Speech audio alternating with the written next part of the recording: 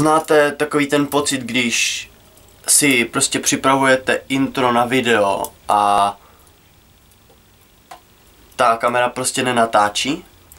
Oh, Snace, já jsem Los Carlos a vítejte u dalšího dílu z Toterionu na motýlky. V dnešním videu bude trik, který byl requestovaný asi dvěma lidma nebo jedním člověkem dvakrát. Teď fakt nevím. Mám pocit, že jeden to requestoval dvakrát a ten jednou to requestnul tak jednou. Nevím, je to jedno. Ale každopádně je to trik Helix, na který jsem vás připravoval v minulém videu. Uh, trikem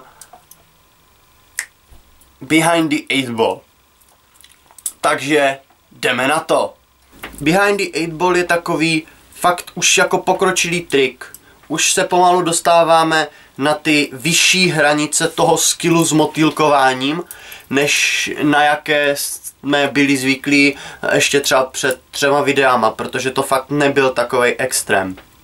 Teď už je to fakt hodně výš, udělali jste velký kus práce a teď už ten Helix. Uh, Helix se skládá v podstatě ze tří rolloverů, je to, uh, jsou to dva rollovery a jeden Chaplin mám pocit a vypadá přesně takto.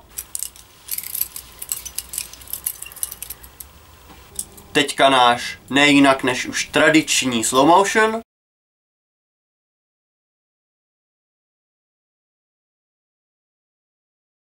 A samozřejmě vysvětlení tohohle triku po krocích. A že jich je.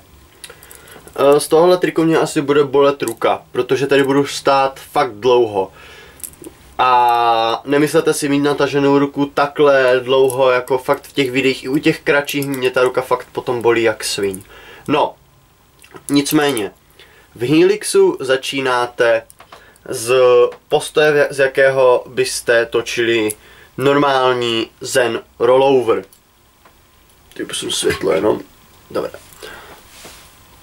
Uh, a začnete normálně do klasického Zen rolloveru. Zen rolloveru už umíte, ti co ne, tak se ho musíte naučit, protože jste prostě kreténi, jestli uh, nejdete postupně, ale uděláte teda Zen Rollover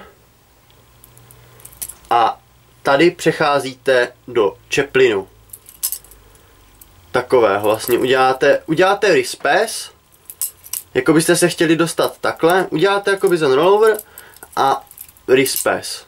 Až na to, že jsem udělal, udělal jsem ho dobře, ale ne, ne, nechytíte ten motýlek, nezavřete ho.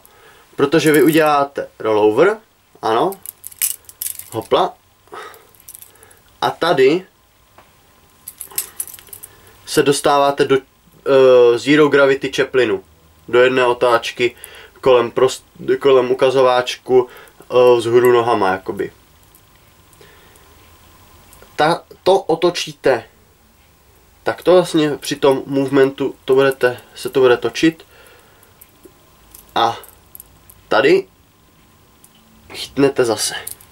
Takže ještě jednou vezmete do Zen Rolloveru. Rispes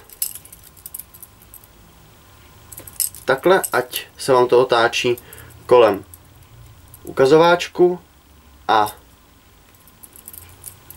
potom tento trik chytáte tady a tady uh, doufám, že to takhle je, já si to ještě projdu znovu, omlouvám se. Takto. Takto. Uh, když, te, když ty triky rozebíráte postupně, tak si vlastně uvědomujete, co všechno se tam dělá. A potom vcházíte do dalšího jakoby rolloveru, už potom rispésem. Vlastně když, když rozebíráte trik a učí, musíte ho někoho naučit takhle po částech, tak si vlastně sami uvědomíte, co odnáší dělat ten trik.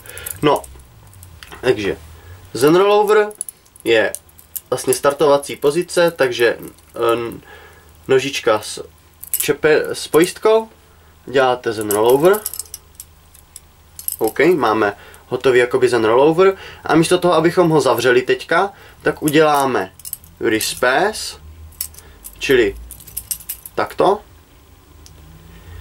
A necháme, aby se nám motýlek obtočil kolem ukazováčku. Takto, abychom ho potom chytli v této pozici, jakoby pal, mezi palcem a ukazováčkem. A mohli jsme ho vlastně přetočit kolem palce.